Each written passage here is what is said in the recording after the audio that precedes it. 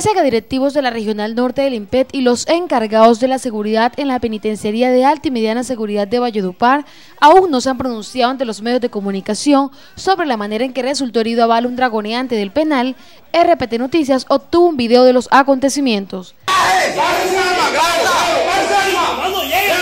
El hecho ocurrió este lunes 5 de octubre a las 8 y 20 de la mañana en la entrada a la cárcel de máxima seguridad de la ciudad. En las imágenes se aprecia un guardián enfurecido con un arma de fuego en su mano derecha, mientras que se escuchan en el fondo a otros compañeros cuando le dicen que trate de calmarse.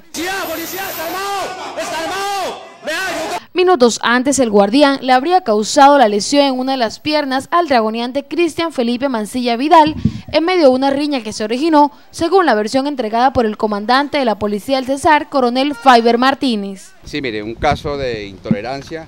Al parecer, entre los dos guardianes hubo una discusión. Uno de ellos saca su arma de votación y dispara en dos ocasiones contra el otro guardián. El video fue compartido en su cuenta de Facebook por el noticiero La FM.